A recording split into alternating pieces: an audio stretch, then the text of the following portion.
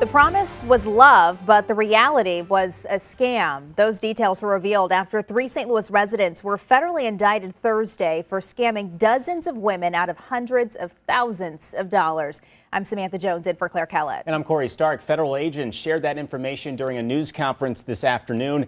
News 4's Ashley Lincoln is live at the federal courthouse with the type of victims these individuals were targeting a very unfortunate situation here. A lot of these victims, their credit has been ruined. Their savings accounts have been drained completely because of this. Now, and federal investigators tell us that most of these victims were elderly women or single women with the promise that they would get love. Instead, these criminals preyed on them for money. Now, this is some video from that news conference that we were at. Investigators say two of the men indicted have ties to Nigeria, but were living here in St. Louis. They were running what's called a romance scam, posing as high ranking military officials who were deployed overseas. Now, they targeted these women through social media accounts and chat rooms, asking them to send money and other valuables to various postal addresses located here in St. Louis. Now, their victims span across the Uni United States and states like Tennessee, Utah, New Mexico, and Florida.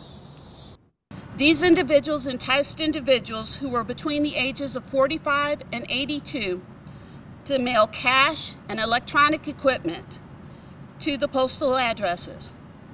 These women believed that they were doing what needed to be done to help United Nations diplomats assist their online romantic interest in returning to the United States from their overseas deployment, as well as to ship portfolios containing jewelry, cash, gold, and silver. And the third defendant listed in that indictment is named Trinice Hassel. She is also a St. Louis resident. We did learn that she would actually help her two co-defendants in this case to open up these postal mailboxes to receive some of the money and goods that these women were sending. Now, she has not been arrested at this time.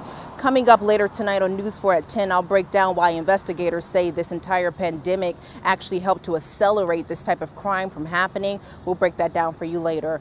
For, for now, reporting live in downtown, Ashley Lincoln, News 4.